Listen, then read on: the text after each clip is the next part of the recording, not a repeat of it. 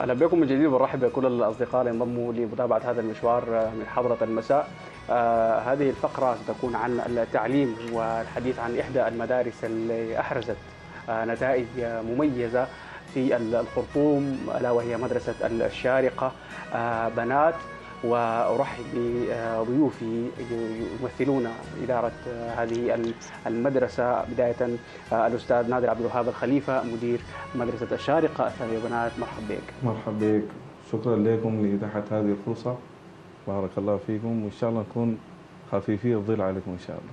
مرحبا بك وبرحب بالدكتورة سامية أحمد بدر سليمان المدير العام للمدرسة. مرحبا بكم واهلا وسهلا بكم وتشرفنا بالحضور في قناة شاشة البلد. مرحبا. بك مرحبا. مرحبا بكم وحنتواصل أكيد وحنتعرف بصورة أوسع وصورة أعمق على المدرسة والتأسيس وكل التفاصيل لكن بعد ما نرجع غرفة الكنترول نتواصل معكم. ونحن في حضرة مدارس الشارقة الثانوية.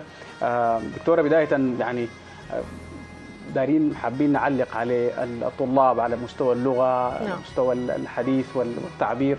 فدي بيدينا دلالة على إنه في اهتمام كبير جدا بهؤلاء الطلاب منذ مراحل متقدمة. المدرسة الآن لها قرابة 23 سنة. البيئة الداخلية الخاصة بالمدرسة كيف تشكلت وأنتم عملتوا في شنو عشان تصلوا لمستوى متقدم من التطور في مجال العملية التعليمية؟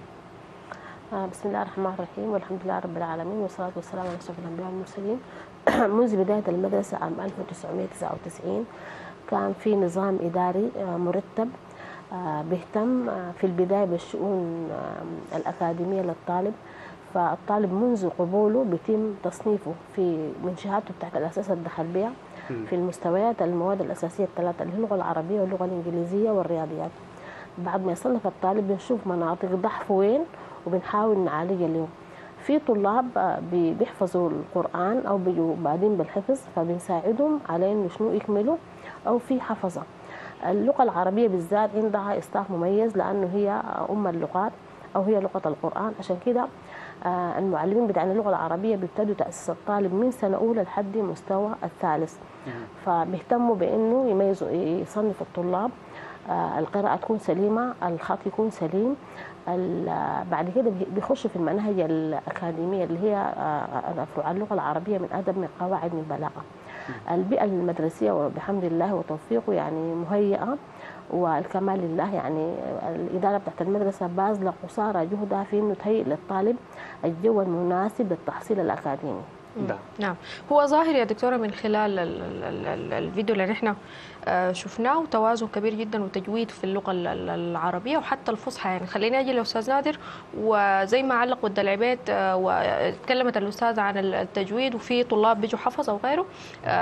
أغلب الأمنيات أو معظم الأمنيات عند الطلبه بيقولوا نحن بنتمنى إنه السنة دي يكون معظم الطلاب ممتحنين. شهادة يكونوا متفوقين من الأوائل. هل كان في طلاب يعني كثر ولا كان عندكم فرد أو اثنين أو ثلاثة من طلاب الشهاده متفوقين أو كانت نتائجهم يعني أعلنت. والله بفضل الله يعني المدرسة منذ إنشاء الحمد لله في تفوق. ويشهد لذلك طلاب في كليات الطب كليات الصيدلة والمختبرات. والمدرسة يعني تستشعر الأمانة والمسؤولية. يعني أولياء الأمور لما يجيب لك بنته وسجلها فدي مسؤولية كبيرة. نعم. سواء كان في البنين أو في البنات. وكما نعلم أنه المعلم والمدرسة هي البيت الثاني وهي المكملة للعملية التربوية في البيت. صحيح. وهي وزارة التربية بعدين شنو؟ التعليم. التعليم. نعم. فالناحية الأكاديمية الحمد لله يعني من هنا أنا بحيي كل معلمي المدرسة واجتهادهم ولا نزكي لا نزكيهم على بقية المعلمين في المدارس. لكن المعلم في في الشارع يتميز بأنه يعطي كل جهده وكل وقته للطلبة لرفع الأكاديميات وأيضا لا يخفى علينا الدور التربوي. يعني المدرسة الإشراف المعلمين أنفسهم يعني الجانب التربوي والنفسي للطالب مهم جدا. يعني مثلا ما مسألة معلومات تلقين وامتحانات. يمكن الحمد لله دي نحن قطعنا فيها مشوار كبير بفضل الله وباجتهاد المعلمين لكن الجانب التربوي مهم جدا. ودي دي الحساسية بتاعت إدارة المدارس الثانوية بالذات.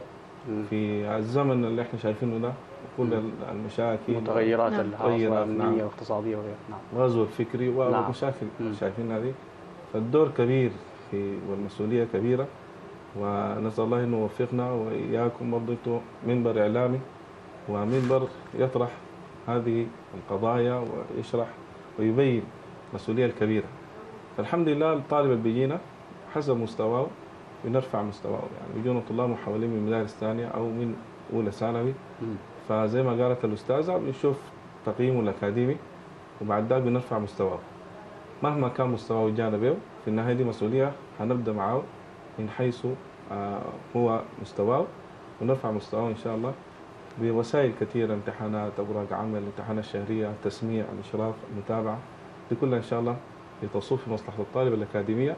وقبل ده زي ما قلنا الجانب التربوي. نعم. نعم. نحن نقف مع الدكتورة طوالي في ال- الجانب التربو- التربوي بمدرسه أو مدارس الشارقة.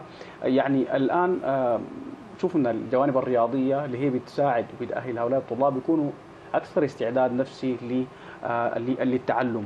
آه، الآن ال- الظرف في في السودان يعني في متغيرات كبيرة جدا ويعني الأستاذ تفضل بإنه في متغيرات خاصة بال- بالتكنولوجيا وغيرها. فالآن الطلب يحتاجوا في هذه المدارس أستاذة ساميه على إنه يكون في آه، الحاجة اللي بيشوفوها برا يجوا يلقوا آه، بشكل آخر جوا. أنا بتكلم عن البيئة التعليمية جوا كيف؟ نعم.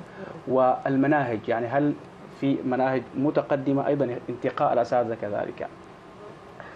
أول حاجة بالنسبة للبيئة ال- المدرسية مهيئة.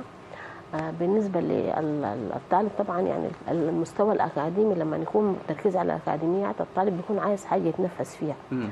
فده جانب بتاع مناشط رياضية. آه، عندنا ابتدي من الصباح بالطابور الصباحي. آه، زي نص ساعة كده بيبرز أو حصة هي تقريبا 40 دقيقة بيبرز فيها الطالب. حاجاته كلها مقسمة بين الفصول. آه، بعد كده في مناشط اللي هي في الكرة الطايرة وفي تنس الطاولة وفي لا نط الحبل بالنسبة للبنات. الأولاد عندهم مناشط آه، تانية اللي هي عندهم كرة القدم وعندهم الكرة الطايرة. وفي دورة جوا داخل المدرسة وبعدين في دورة بيتنافسوا مع المناطق على مستوى المحلية. آه، في السنة دي لأول مرة يدخلوا لعبة البولينج في المدرسة. وتعتبر بداية جديدة بالنسبة لهم. الطالب ذاته بيجي الصباح عندهم زي مجموعات كده بيتقسموا ناس بيحفظوا قرآن أو بيعملوا حلقات بتاعة تلاوة ناس بيشتغلوا مناشط آه، بيجمعوا في الآخر آه، 40 دقيقة طابور صباحي في طلاب بيجوا بدري طبعا المدرسة. بالنسبة للطلاب في المستويات الثانية عندهم آه، الصباح آه، برنامج صباحي أكاديمي. برضو آه، قبل الحصص العادية اللي هو عبارة عن تسميع ومراجعة بعض المشاكل اللي هي بيحلوها مع المشرفين التربويين ومع المعلمين. جميل. آه، أستاذ نادر آه، حاليا أو مؤخرا في غياب كبير جدا آه، للمرشد ال- ال- ال- النفسي أو الاجتماعي في معظم ال- ال- المدارس الخاصة في السودان. هل مدرسة الشارقة متوفر فيها مرشد نفسي أو اجتماعي أو غيره؟ نعم الحمد لله بفضله. يعني عندنا في الإشراف عدد من المعلمين والمعلمات في الإشراف متخصصين في جانب آه، التربية النفسية. بالإضافة إلى الدور الكبير اللي بيقوم به بقية الإدارة وبقية المعلمين يعني يمكن يعني المسألة ساهمت في حل كثير من المشاكل حتى مم. البيت أحيانا تعكس مشاكله في المدرسة مم. والطالب قد ما يجد في البيئة اللي حوالينه زول يتكلم معه أو. يشاوره فيجد الثقة في الإشراف أو في المعلم معلم أيوة. فكثير من المشاكل الحمد لله تم حلها بأنه الطالب حس بالأمان والثقة مع الإشراف ومع ال- المعلمين وحلت كثير من المشاكل بفضل الله يمكن ما يقدر يخش في تفاصيل. لكن آه، ده يأكد دور المدرسة والجانب التربوي النفسي فالحمد نعم. لله مدارس الشارع مميزة بال- بالجانب ده يعني. عندنا أخصائيين نفسيين. الحمد لله. الإشراف بفضل الله. نعم. أستاذ سامي أحمد الآن ال- المدرسة قدمت نتائج إيجابية ومميزه جدا عندكم. آه، ناس دخلوا في في الأوائل على مستوى السودان. آه، الخطة للعام القادم للمحافظة على هذا النجاح. هل وضعتم خطة؟ يعني حاولتم علاج بعض المشكلات أو الاخفاقات في بعض الجوانب؟ أيوه آه، طبعا النتيجة دي يعني بتعلق على عاتقنا مسؤولية كبيرة وكبيرة جدا تجاه الطلاب وتجاه المجتمع إنه نحن عودناهم انه. دائما نجيب نتائج مميزة. فنحن قدام تحدي إنه لازم نمشي لقدام يعني ما نجيب في مكاننا. ووضعنا خطة وخطة محكمة لمعالجة بعض الحاجات اللي بتظهر لك كل مرة حاجات. أنت بتحا- بنحاول نعالجها في العام القادم إن شاء الله. وبيساعدونا فيها صراحة معلمين من أميز المعلمين صراحة. والمدرسة عبارة عن أسرة واحدة المعلمين فيها صراحة بيقدموا أكثر مما هو مطلوب منهم يعني. وأنا بحييهم من هنا وبشكرهم على جهدهم الكبير اللي بيقوموا به وحتى الخطة دي هم بيشاركونا في وضعها لأن هم اللي بيضعوا اللمسات الأخيرة للطالب على أساس إنه يخش الامتحان وعلى أساس انه يتهيأ وعلى أساس انه يطلع إيه، بنتيجة متفوقة إن شاء الله. إن شاء الله. آه، أستاذ نادر آه، كيف بتتم ال- ال- المتابعة ما بين ال- ال- ال- الأساتذة أو إدارة المدرسة؟ ويعني الأسر هل في جروب للتواصل؟ آه، ولا في يوم محدد اسبوعيا بيتم فيه التواصل لتحديد الأكاديميات والسلوكيات أو حتى المستويات يعني؟ نعم. المتابعة والتواصل بين البيت والمدرسة ده بيشكل الحلقة الكاملة للعملية التربوية والتعليمية مم. الحمد لله الإشراف عندنا امتحانات شهرية وتقرير شهري بيصل لولي الأمر. طبعا في أولياء أمور بيتابعوك بيجوك ديل بيسهلوا المهمة. وفي ناس مشغولين طبعا الحياة والجري والمعايش. نعم. فإذا في حاجة طارئة في ملاحظة في حاجة محتاجة لتواصل طوال الإشراف بيتصل بولي الأمر. مم. يطلب حضوره أو بالتلفون يكون في تواصل. لحل المشاكل. لكن عندنا نظام آه، إلكتروني متكامل. المدرسة مم. وفيه متابعة. يعني الرسائل ال- ال- التوجيهية رسائل الاستفسارات. أيوة كلها تصل الأمور. الأمور. وفي برضه مواقع التواصل في. الفيسبوك واتساب. في تواصل أيضا مع أولياء الأمور. والتكنولوجيا طبعا بقت يعني لغة العصر. فلا بد من إنه الناس تخش فيها. والحمد لله حتى في صفحة للمدرسه فيها حصص مجانية مسجلة لمعلمي المدرسة. الناس يستفيدوا منها بصورة عامة. مم. فالتواصل مهم جدا. والحمد لله دي من الحياة ال- ال- المهمة في المدرسة وهي من عوامل النجاح تواصل بين إدارة المدرسة والإشراف والمعلمين واولياء الأمور. فده كله مع بعض بيثمر هذا النجاح الذي شهدناه في العام السابق بفضل الله. نعم. أستاذ سامية الآن عندكم آه، واحدة من الأوائل هي طالبة. حدثينا عن آه، يعني ال- الجو العام في المدرسة ونحن تابعنا التفاؤل من الطلاب حتى في المستويات ال- الدنيا آه، إنهم متفائلين بال- بالنتيجة وفرحين وسعيدين بهذه ال- النتيجة. آه والله طبعا يعني هي لما تكون واحدة من زميلاتهم عايشة معاهم وتجيب نتيجة مميزة وتذاع فهم الكلام ده بيحفزهم. وبيشجعهم وبيخليهم هم نفسهم عايزين يحذوا حذوها ويصلوا للمرتبة اللي هي وصلت لها ويعني لمرتبة أفضل. حتى عندنا هناك يعني الطلاب يعني يعني صراحة يعني علاقاتهم مع بعض يعني علاقات ودية. يعني هي فيها نوع من التنافس وكده لكن في تناقم يعني الجو العام بتاع ال- ال- الطلاب فيه نوع من التناقم يعني. طلاب كده سلسين صراحة يعني ومتفوقين فالطلاب نفسهم متحمسين يعني ويعني بيدعوا لها الآن بالتوفيق وبالنجاح. فحتى كل طابور بيهدوا لها أنشودة بيهدوا لها آه، تهنئة في مواقع التواصل معاه فالنتيجة صراحة حمستهم شديد. وهم الآن يعني بيقولوا زي ما سمعتهم إنه عايزين يكون في عدد كبير منهم في المية الأوائل وإن شاء الله يعني ربنا سبحانه وتعالى بدي الفردوس الأعلى فيعني نتوقع إنهم يحرزوا نتائج أفضل بإذن الله تعالى. إن شاء الله. آه، أستاذ نادر الراحة النفسية آه، يعني هي مهمة وضرورية جدا آه، للطلاب لإحراز نسب عالية جدا في امتحانات الشهادة وفي الامتحانات ال- العادية يعني. فأكيد الناس آه، بعد المتابعة آه، بتسال من التهيئه بتاعة البيئة داخل مدارس الشارقه أيوه الحمد لله البيئة مميزة مدارس الشارقه سواء كان في الفصول سواء كان في ال- ال- الأنشطة.